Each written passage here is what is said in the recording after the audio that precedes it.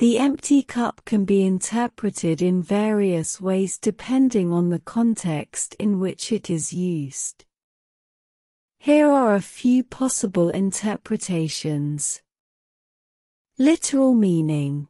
The term empty cup can refer to a cup that has no liquid or substance in it. It may be used in the context of someone requesting a refill or more of whatever was in the cup, like coffee or tea. Metaphorical meaning.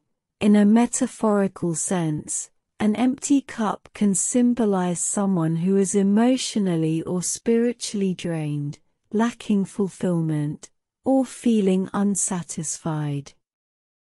It suggests that the person needs something to fill their emotional or spiritual needs. Zen philosophy. In Zen Buddhism, the concept of the empty cup is often used to illustrate the importance of approaching learning and life with an open mind.